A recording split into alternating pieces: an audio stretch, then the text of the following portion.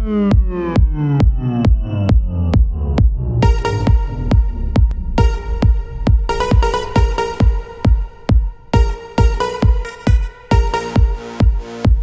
Saturday, coming into uh, the week three of our build season, we came in wanting to know all of our critical orders that we needed to get the job done for this week. So we needed uh, all the materials and stuff, all the bolts that we were missing, everything we needed to know so that we can prototype for throughout the week.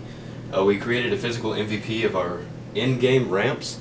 So we just needed to find angles that we needed and basically measurements and stuff that we needed, but it wasn't top priority. So we just got that done, knocked it out real quick on Saturday. We collected all of the electronics for the drivetrain. So basically later on in the week we got the drivetrain, but we needed to have the electronics ready so that we could just throw it onto the drivetrain and get it running as quickly as possible. We made a Home Depot run to get all of the wood that we needed to create our practice field for all the game elements and stuff. Um, we found the bolts for the ball shifter that we needed to mount it to the plates that we got water jetted. Um, on Monday, we compiled the correct sprockets so that we could just have them there ready to throw into the drive tubes when we get them.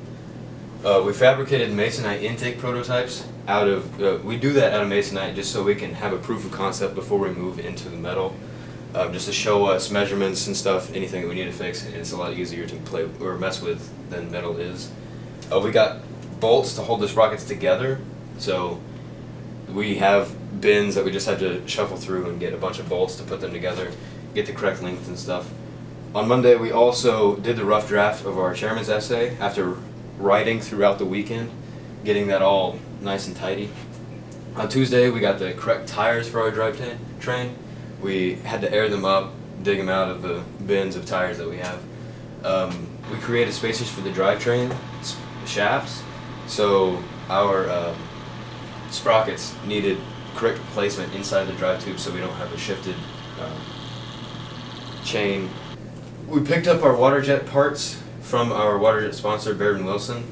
Um, basically that was the ball shifter mounting plates and the electronic components plates, or belly pan. It houses all the electronics. We assembled the sprockets after going through and finding what correct spacing we want in between them and like clearances and stuff. On Wednesday, we got all of the hex bearings that were in the shop. Uh, we were running a little low, so we had to find those and get them in one tidy place so that we can assemble the drivetrain. Uh, we populated the belly pan with electronics. Um, after collecting all of them, we basically just had it there so we can just mount them straight to the belly pan as soon as we got it and just get the ball rolling on that. Uh, we built the proper chain lengths that we needed, so we went into CAD, found the proper chain links that we needed, and then counted out the chain links and then built them so that on Thursday, moving into Thursday, we can assemble the drivetrain. We got the correct tubes, and uh, so we, after having all this ready for it to come in, as soon as we got it, we jumped right in and started assembling that. Um, we wired all the electronic electronic components to uh, that were on the belly pan to like the ball shifters and stuff to make it easier and game ready. Uh, we now analyze the game strategy, so basically going through and finding every single possible way to get the maximum amount of points on each alliance. And Friday, we have our final chairman's essay done. It's ready to click submit, but we're going to do a full team review and everybody's going to read it just to make sure it's nice.